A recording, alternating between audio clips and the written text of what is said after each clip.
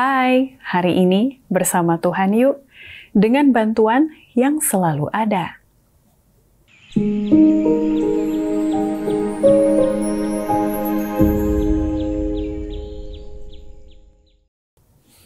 Alkitab berkata dalam Nahum 1 ayat 7, Tuhan itu baik, ia adalah tempat pengungsian pada waktu kesusahan.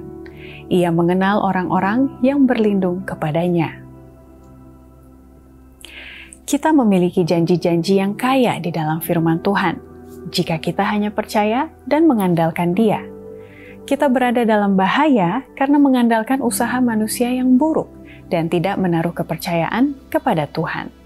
Setiap orang yang memiliki peran dalam persiapan besar pekerjaan Tuhan untuk akhir zaman ini harus mendekat kepada Tuhan.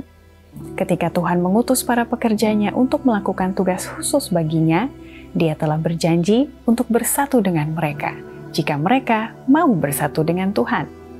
Namun, jika mereka memisahkan diri dari Tuhan dan mencoba melakukan pekerjaan ini dengan kekuatan mereka sendiri, mereka akan menemukan kesulitan dan patah semangat di setiap langkahnya. Di sini kita memiliki janji bahwa dalam bekerja bagi Tuhan, Dia ada di sebelah kanan kita untuk menolong kita dan bekerja bersama kita. Adalah kebodohan terbesar di dunia ini jika ada di antara kita yang mengambil pujian untuk diri kita sendiri atas kesuksesan yang kita miliki.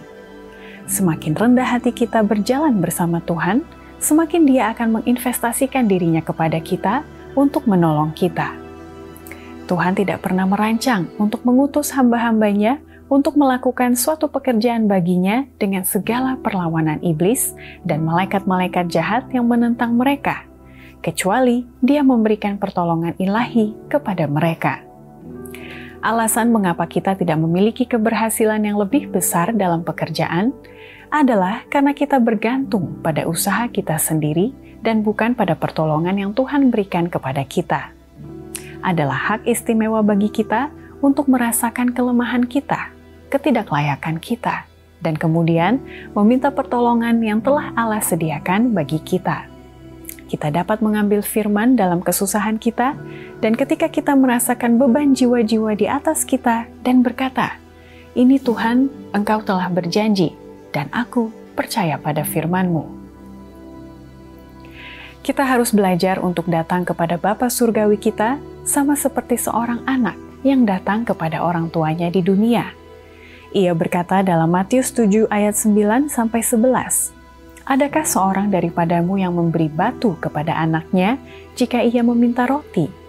Atau memberi ular jika ia meminta ikan?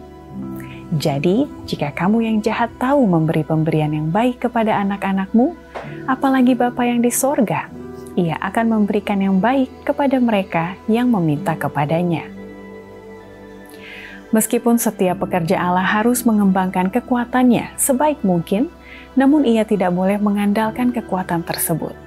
Lakukanlah segala sesuatu yang dapat kamu lakukan dan percayakanlah sisanya kepada Allah. Dengan bantuan yang selalu ada, mari jalani hari ini bersama Tuhan.